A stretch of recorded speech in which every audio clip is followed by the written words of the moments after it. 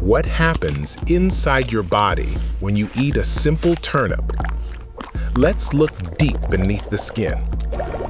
As soon as the turnip enters your mouth, enzymes activate and digestion begins. When it reaches the stomach, acids break it down and release vitamins, minerals, and fiber. In the small intestines, these nutrients turn into tiny glowing particles that enter the bloodstream. They travel through your body, strengthening your brain, improving focus, and supporting memory. Your muscles absorb these nutrients, helping them stay strong and energized.